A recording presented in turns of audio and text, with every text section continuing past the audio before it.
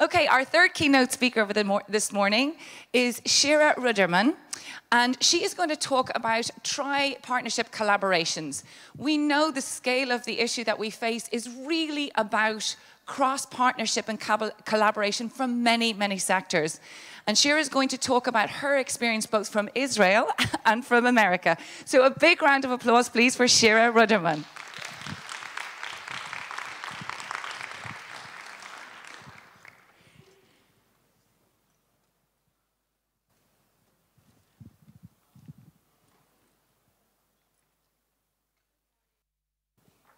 Well, Patrick, to follow you, it's a hard task. And if this is the worst you can do, I am worried about what's the best you can do. So, uh, first of all, I would like just to start by thanking um, Martin and Michael for having me here and acknowledge our um, two important people, Jay Ruderman, the president of the Ruderman Family Foundation, and Galia Granot, my wonderful program officer, and to tell you that my presentation was done by our amazing staff that is visually impaired. So like you said, Patrick, I think technology can break a lot of barriers. So the Ruderman Family Foundation um, is a global international foundation that has a global approach on the issue of inclusion. We believe in a social impact. We truly believe in leading by example.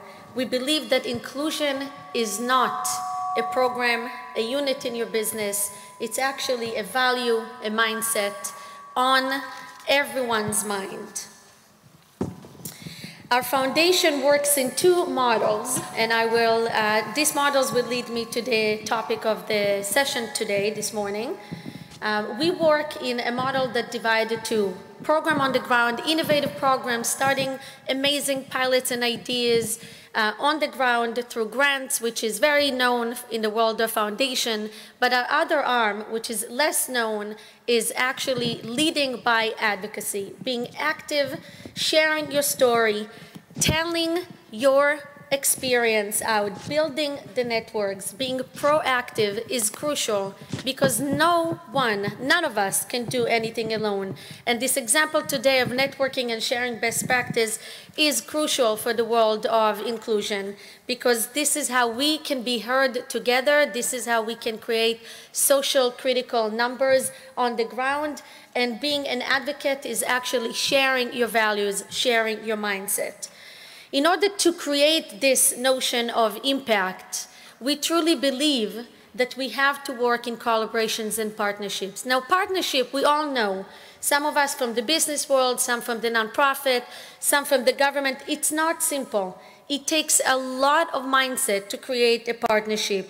We at the foundation from our beginning believed that partnership will make us stronger. Although it's not the easy way, it's the sustainable way for the long run.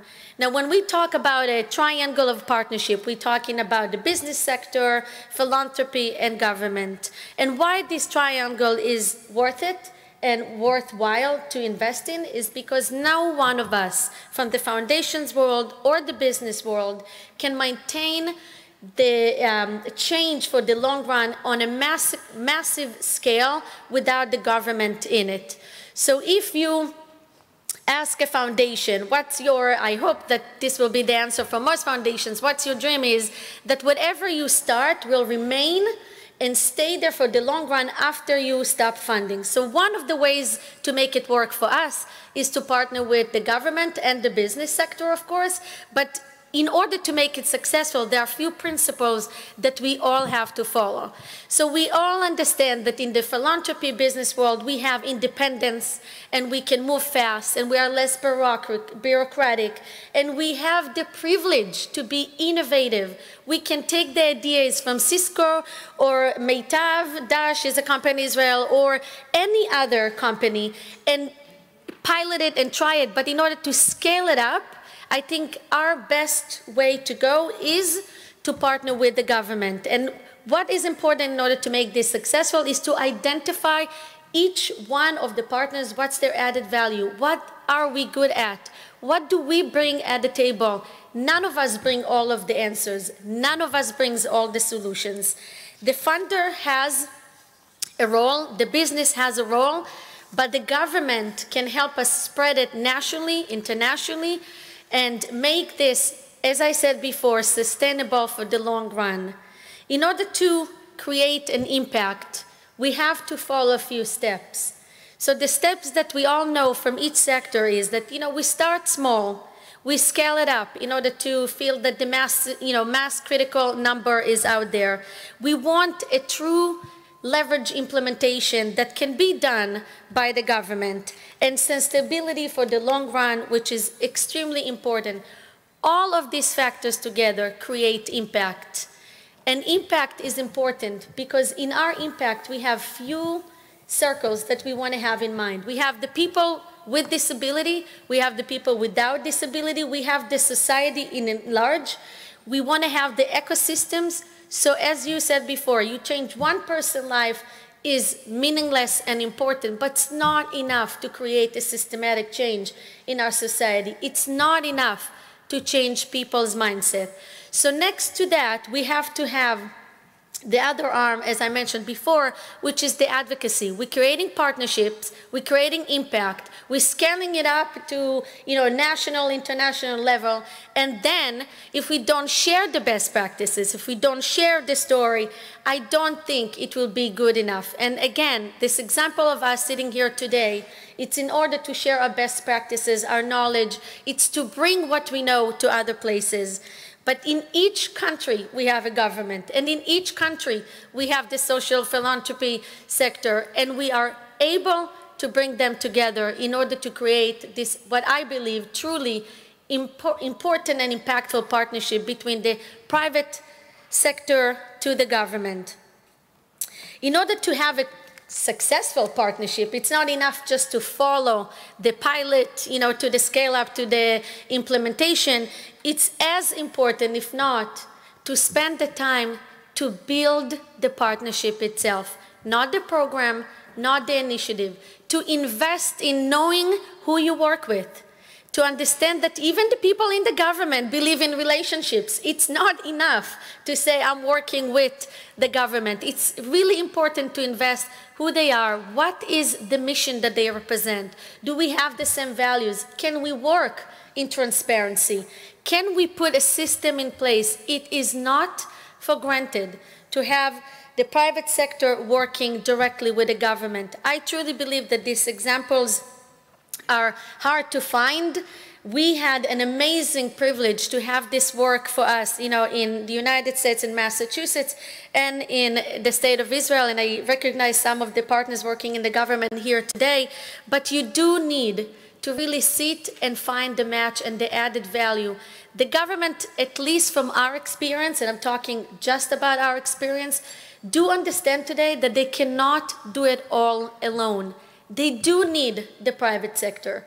They do need the philanthropists, not just to bring funds, which are important for itself, but it's to bring the innovations, it's to bring the ideas, it's to bring the freedom out of the bureaucratic system to try new things, to build and create. And this opportunity of government recognizing the role that the private sector has and the power that philanthropy has, giving us philanthropists the opportunity also to partner with the government in order to see what we call leverage, impact, and sustainable to our own models. So, in order to create a solid partnership, there are a few other steps we have to take. And to create a partnership, as I said, we're talking about creating the content for itself, the model, the pilot. It's creating the partnership, the communication, the transparency, the mutual understanding, the recognition of our added values. But there are always I'm sorry, there are also other steps that we should take, which are more professional gearing and not just about the personal and mindset relationship. They are geared towards creating the methodology of a partnership. So we create a committee together, which again, it's not usual, but it's possible.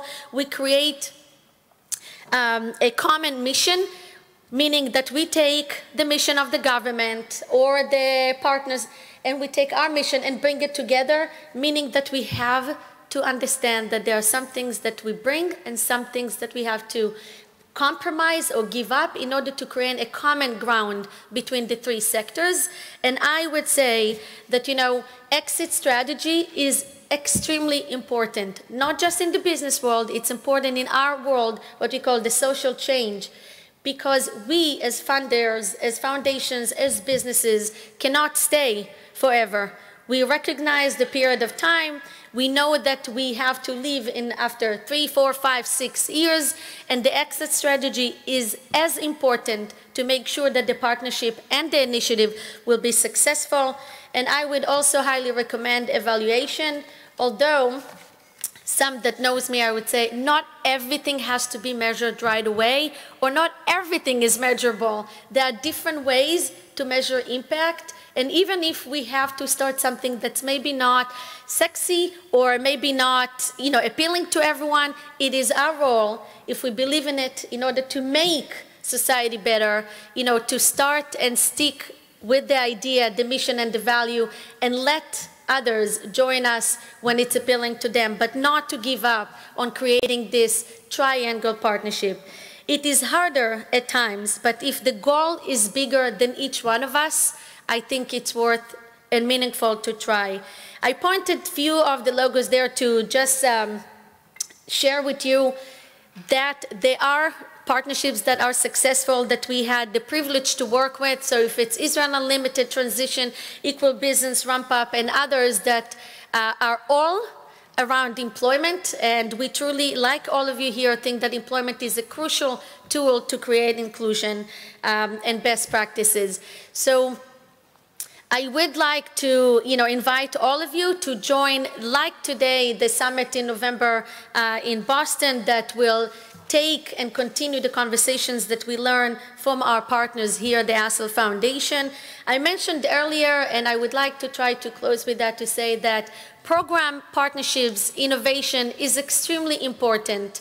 But aside to that, we're talking about the role of advocacy. And advocacy is, as I said before, sharing the story, learning best practices, understanding what is it to be proactive. It's not enough to sit and say this is great or hear people talking in not appropriate way and be silent is to take an action to say what we have to say. So our foundation is extremely involved in advocacy, which is very rare in the world of family foundations. And advocacy for us means few things. So in addition to our programs on the ground, the foundation is involved in advocacy in raising awareness of disability inclusion. Hollywood is crucial in shaping attitudes of people with disability. So I want to share with you an announcement we made yesterday in recognizing uh, the MER Morton Ruderman Award in Inclusion to Academy Award-winning actor Marlee Matlin, which I hope uh, some of you can recognize.